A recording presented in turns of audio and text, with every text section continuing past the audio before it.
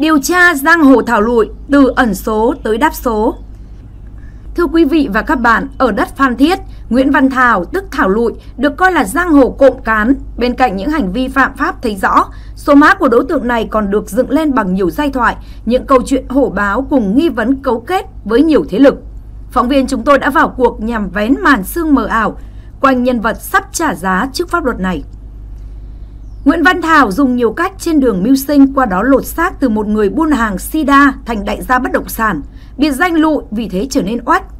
Đầu tháng 6 năm 2023, cơ quan cảnh sát điều tra công an thành phố Phan Thiết tỉnh Bình Thuận khởi tố, bắt tạm giam bị can Nguyễn Văn Thảo, tức Bảy Thảo, hay theo cách gọi của giới giang hồ là Thảo lụi, về tội hủy hoại tài sản.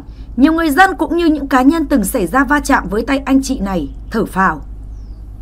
Quãng thời gian tìm kiếm thông tin hoạt động của nhóm giang hồ do Nguyễn Văn Thảo cầm đầu, chúng tôi tiếp xúc nhiều nhân vật từng bị giang hồ này hành cho lên bờ xuống ruộng. Tìm đến nhà ông S ở ngoại ô thành phố Phan Thiết, cảm nhận đầu tiên khi nhắc tới việc Thảo Lụi bị bắt là người đàn ông tỏ ra nhẹ nhõm, như vừa chút được gánh nặng dai dẳng. Ông S kể, năm 2012 mua được khoảng 12 hecta đất nông nghiệp gần khu vực trường đại học Phan Thiết của một số hộ dân. Thời điểm đó đất hoang hóa trồng cây năng suất thấp nên giá khá rẻ, mua xong ông S thuê lại người giao bán đất để kiếm lời. Đến năm 2016, cha vợ của Thảo Lụi được giới thiệu đến mua 1,2 hecta đất. Ông S đâu ngờ người trả tiền là Thảo Lụi và từ đây những rắc rối bắt đầu. Theo thỏa thuận, cha vợ Thảo Lụi mua 1,2 hecta đất chỉ với giá 130 triệu đồng, tương đương là 11 triệu đồng trên 1.000 mét vuông, trả trước 65 triệu đồng, số còn lại sẽ thanh toán sau một tháng. Đến hẹn thanh toán phần còn lại, Thảo Lụi không trả như giao kèo vì lo ngại thông tin về việc chính quyền kiểm tra pháp lý nguồn gốc đất khu vực này. Ông S khoanh lại 6.000 m2 đất cho cha vợ Thảo Lụi, tương ứng với 65 triệu đồng đã nhận. Thời gian sau khi bất động sản lên cơn sốt, nhiều người từ các địa phương đổ tới. Những lô đất của ông S tăng giá trị lên nhiều lần. Đến thời điểm năm 2019, giá đất mỗi xào 1.000 m2 của ông có giá từ 200 đến 3 triệu đồng, thì Thảo Lụi quay lại đòi giao đủ 1,2 hectare. Về lý, nếu làm hợp đồng đặt cọc mà không thanh toán hết thì bên mua đương nhiên mất cọc. Ông S đã khoanh lại 6.000 mét vuông cho phía bội tín, vậy mà vẫn không yên. Thảo Lụi tới hùng hổ chửi thề, dọa nạt đòi bằng đủ 1,2 hecta. Tiếp đó tay chân của Thảo Lụi vào khu đất đập phá hàng rào và chiếm giữ đất. Căn nhà của ông S ở địa điểm khác cũng bị đập phá, hồ cá bể, cây trồng bị chặt. Vì sợ ông luôn né tránh đối mặt trong một lần làm vườn thì đàn em của chùm giang hồ này nhìn thấy thông báo về cho đại ca. Thảo Lụi lập tức điều người tới bao vây với lệnh phải bắt bằng được đem về cho tao. Thấy nhiều người xông đến, ông S chạy ngược ra sau khu đất, treo rào thoát thân. Chạy gần hai cây số thì có nhà dân và xin vào bên trong trốn, rồi gọi điện thoại về nhà cho người thân đến công an trình báo.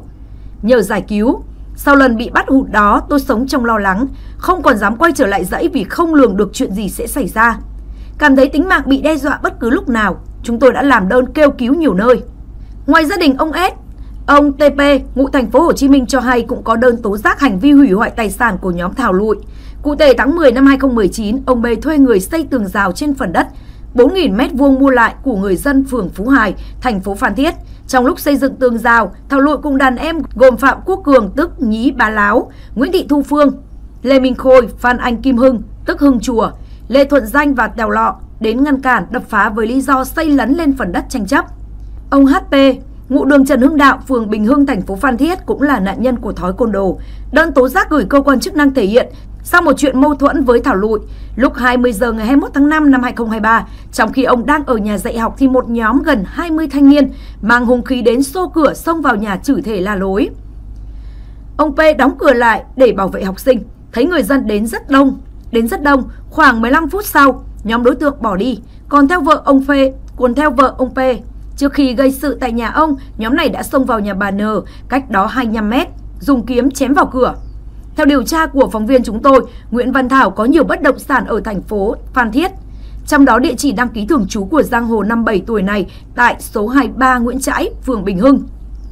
Với căn nhà 5 tầng nhưng thực tế Thảo cùng con trai lớn hay ở trong căn biệt thự trên phường Xuân An. Vợ chồng Nguyễn Văn Thảo kinh doanh dịch vụ nhà hàng karaoke. Tại tòa nhà cao tầng trên đường Đào Tấn, ngoài ra người này được cho là đồng sở hữu một khách sạn TNT với 38 phòng ở đường Trần Hưng Đạo và nhiều bất động sản khác Kể về Thảo Lụi, những người ngang tuổi với giang hồ này tại phường Bình Hưng cho biết gia đình Thảo đông anh chị em. Lúc còn trẻ Thảo ít gây điều tiếng, thỉnh thoảng anh em Thảo, một tay anh chị khác là Bình, number one, cùng nhóm chiến hữu nhậu nhẹt ồn ào nhưng không gây sự việc nghiêm trọng. Những năm 1985, 1995, gia đình Thảo sinh sống bằng nghề bán quần áo khu vực Giạp Phi 19 tháng 4, gần chợ Phan Thiết. Thời gian này Thảo thường lấy hàng hiếm từ Campuchia về bán lại. Cái tên Thảo lụi có thể xuất phát từ giai đoạn Thảo đi buôn. Những anh chị khác sống cùng thời với Thảo xác nhận thời gian đó Thảo bán chui bán lụi. Nhiều hàng hóa từ Campuchia về từ quần áo Sida cũ đến những thứ giá trị như xe máy đập hộp, Super Cup, Dream Loon, Dream 2. Nhiều phi vụ Thảo cùng đàn em liều lĩnh với hàng hóa ở khu vực biên giới nên có thể cái tên lụi cũng có nghĩa là liều.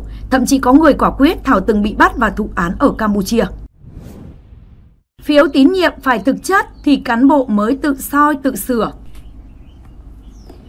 Thưa quý vị và các bạn, mấu chốt của lá phiếu tín nhiệm cán bộ là trao niềm tin, chọn lựa người tài, tăng trách nhiệm cho người lãnh đạo, chứ không phải làm vừa lòng người bỏ phiếu.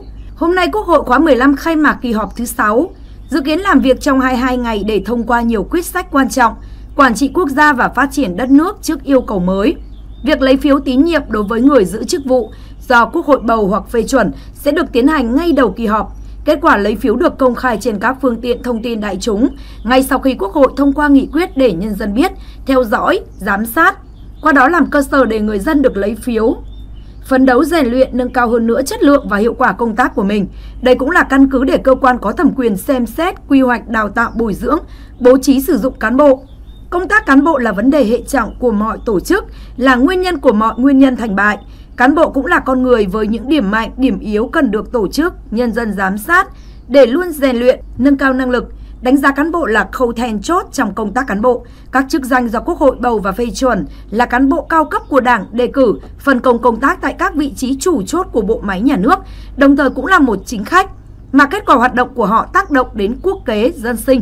Vì vậy, ngoài cơ chế giám sát trong Đảng, họ phải chịu sự giám sát của Quốc hội, của Quốc hội thông qua lá phiếu trách nhiệm của đại biểu. Tất nhiên, công việc liên quan con người sẽ khó khăn và phức tạp. Chất lượng giám sát đánh giá cán bộ chịu sự tác động từ nhiều yếu tố như chủ thể, tiêu chí, thời điểm, mục đích, phương pháp công cụ và quy trình đánh giá. Biện pháp dùng phiếu là công cụ đắc lực để cơ quan dân cử làm tốt hơn vai trò giám sát, nâng cao năng lực lãnh đạo, hiệu quả quản lý điều hành của các chức danh chủ chốt trong bộ máy nhà nước, có tác dụng kiểm soát quyền lực, kiềm chế lạm dụng quyền lực, góp phần phòng ngừa và chống tham nhũng. Song nếu lá phiếu được dùng bằng cảm quan, không có tiêu chí đánh giá rõ ràng cho từng chức danh, công việc quản lý thì chẳng những không đáp ứng được kỳ vọng của người dân mà còn cổ suý cho căn bệnh hình thức. Lâu nay, việc lãnh đạo điều hành của nhiều cán bộ bị cho là chạy theo thành tích ngắn hạn với tư duy nhiệm kỳ dễ trở thành tư duy niên kỳ theo các đợt lấy phiếu tín nhiệm hàng năm. Mấu chốt của lá phiếu tín nhiệm, cán bộ là trao niềm tin, chọn lựa người tài, tạo động lực làm việc, tăng trách nhiệm cho người lãnh đạo chứ không phải làm vừa lòng người bỏ phiếu. Một cơ chế giám sát rõ ràng, thường xuyên minh bạch sẽ chủ động phát hiện những vấn đề nảy sinh, kịp thời động viên hỗ trợ, tháo gỡ khó khăn vướng mắc hoặc xem xét, điều chỉnh có quy định phù hợp với tình hình thực tế. Bên cạnh việc lấy phiếu tín nhiệm, cần khuyến khích mạnh mẽ hơn nữa cán bộ có tư duy sáng tạo, có cách làm đột phá tháo gỡ, giải quyết những điểm nghẽn, nút thắt trong thực thi công vụ. Không chỉ là sự kêu gọi trách nhiệm chung chung mà phải tạo ra sức ép trách nhiệm, buộc người đứng đầu cấp phó của người đứng đầu phải chịu trách nhiệm kỷ luật đối với hiệu quả hoạt động của bộ máy và cán bộ dưới quyền mình người dân đang kỳ vọng những quyết sách quan trọng của Quốc hội, sự chỉ đạo điều hành năng động của chính phủ, là phiếu trách nhiệm và tâm huyết của đại biểu Quốc hội, chữ tín cán bộ lãnh đạo được thể hiện qua từng lá phiếu đại biểu tại kỳ họp lần này.